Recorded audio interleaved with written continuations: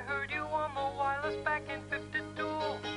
Lying awake intently tuning in on you. If I was young, it didn't stop you coming through. Oh, oh.